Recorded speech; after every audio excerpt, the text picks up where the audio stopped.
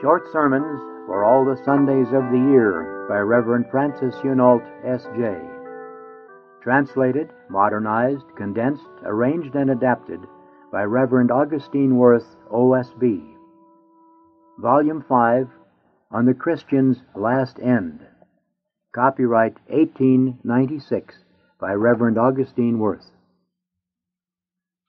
The sermon for the 22nd Sunday after Pentecost. Death will come unexpectedly, that you may be sincere and without offense unto the day of Christ, filled with the fruit of justice. Philippians chapter 1, verse 10 and 11. St. Paul has left us a beautiful exhortation in those words This I pray, that your charity may more and more abound in knowledge and in all understanding. To what end? That you may be sincere and without offense unto the day of Christ, filled with the fruit of justice. Unto the day of Christ. That is the day when our Lord will come to take us from this world by death. It is certain that the Lord will come to take each of us from the world by death, and therefore we must all prepare in time for his coming, for much depends on it. It is certain that he will come but once, Therefore we must prepare with great care, so that one occasion may be fortunate for us. It is certain that we do not know the time at which this one coming of the Lord will occur. Therefore we must be always ready for it. And he will come not only at a time that is unknown to us, but also when we least expect him and are least thinking of his coming. Or we shall die at the hour when we least expect it. We must use all diligence to be always prepared for death. We must die, and generally speaking, when we least expect. A few saints who were always resigned to the will of God and prepared for death, and criminals led forth to the place of execution, excepted. There's hardly one who dies but at a time when he thinks he shall not die. This is a truth taught by daily experience and by the inspired Word of God. Be you then also ready, for at what hour you think not the Son of Man will come. Therefore he will come at a time when he is not looked for. Our Lord's whole wish was to impress this truth as deeply as possible on our minds, for he repeats the warning so often, partly by himself, partly by his apostles and disciples. Take ye heed, watch and pray. Take heed by to yourselves lest perhaps your hearts be overcharged with surfeiting and drunkenness and the cares of this life, and that day come upon you suddenly, lest it come upon you when you think it far off. Let your loins be girt and lamps burning in your hands. Hence the Lord sometimes compares death to a thief. The day of the Lord shall so come as a thief in the night. No thief is so daring as to venture to attempt a robbery in a place that he knows to be well guarded. If he sees the owner of the house on watch at the door as he's passing by, he salutes him as if they were old friends, and says to himself, There's no use in trying to steal anything there. The people are on their guard. But when all the household is sunk in sleep, not suspecting any danger, then is the thief's opportunity. Then, without making a noise, he breaks through the wall or the window, slips into the house, and brings away all that he can lay hands on. And when the master of the house awakes in the morning, he finds that he's been robbed. The day of the Lord shall come as a thief in the night. He will steal in when a man is least on his guard and take away his life when he has still in hopes of living for a long time. Sometimes death is compared to a butcher. I will bring them down like lambs to the slaughter. They will be merry and joyful in their prosperity, and live without forethought, nor will they be aware that death has already sharpened his knife to pierce their hearts in a short time. Sometimes he is compared to a fisherman and to a fowler. Man knoweth not his own end, but as fishes are taken with the hook, and as birds are caught with the snare, so men are taken in the evil time, when it shall suddenly come upon them. The fish snaps greedily at the bait, the bird at the corn spread for it. Why? They wish to enjoy the food prepared for them in order to preserve their lives. Meanwhile, the one swallows the hook with the bait, the other is caught in the net while eating the corn. Thus, both find death where they expected to find pleasure and the means of prolonging their lives. So men are taken in the evil time. So it is with us. When we think we're benefiting our health and lengthening our lives, we are hurried off by a sudden and unforeseen death.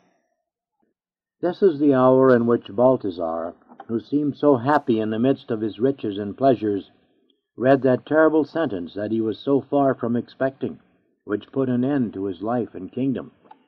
This is the hour in which the proud Ammon, before he had time to look around, was hurled from the highest pinnacle of honor and hanged on a gallows. This is the hour in which Holofernes was killed by a woman in his sleep on his own bed. This is the hour in which Sisera, also during his sleep, was slain by having a nail driven through his head. This is the hour in which Pharaoh was drowned in the Red Sea. Absalom pierced to the heart as he hung on a tree. Amnon murdered as he was carousing at table. But what's the use of raking up moldering bones and seeking for examples from ancient times? Look at the world of our own days. Consider the dying of whatever age and condition they may be. Few of them, nay, hardly one of them, but is surprised by death in some way or other, and dies at a time when he thought he would live longer. One can die in childhood or youth, or in the prime of life, or in old age.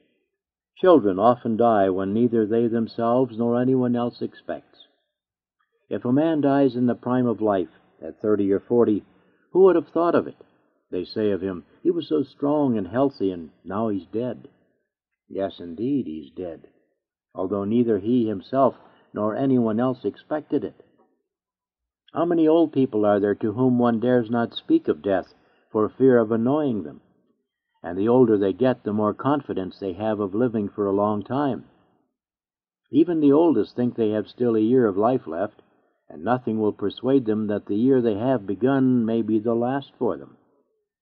There's no one so old who does not promise himself another year of life. And then there are those who die after a long and tedious illness. Most of those even die when they least expect it. For show me, if you can, one sick person who, no matter how bad he is, does not at least hope for another day of life.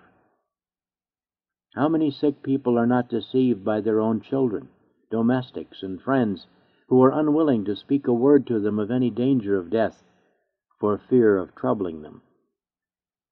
Everyone who visits them tries to encourage them you must hope for the best, they say. There have been many far worse who pulled through all right. You must not be anxious. The doctor's a clever man, and he'll surely be able to help you. Is it not so?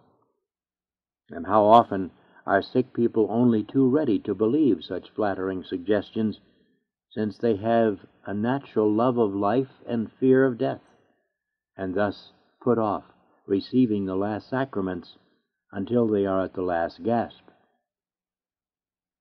It is then and remains true that the Lord will come when we know not, and that we shall die at a time when we expect not. At what hour you think not the Son of Man will come? What follows from this? That we must be always prepared for death. Unhappy sinners who neglect this, who unarmed and unprepared spend whole years as carelessly as if they were never to die. Therefore, they remain in the proximate occasion of sin. Therefore they refuse to restore ill gotten goods. Therefore they put off doing penance. Therefore they're tepid and cold in the divine service. All because they imagine that the hour of death is still far from them. How happy are just and pious Christians in this respect! How peacefully they can sleep at night!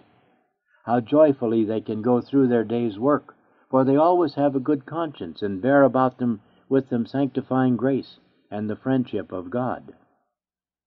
Death may come upon them in public or private.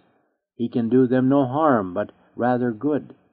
And whether they die suddenly or after a long illness, They're never, never taken unprepared, and therefore they need never fear death.